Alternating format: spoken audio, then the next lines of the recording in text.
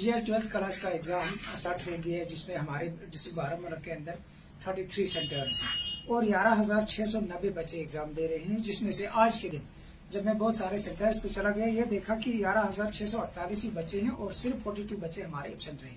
उसका मतलब 99.6 परसेंट बच्चों ने आज के एग्ज़ाम में हिस्सा लिया और मुझे ये देखकर खुशी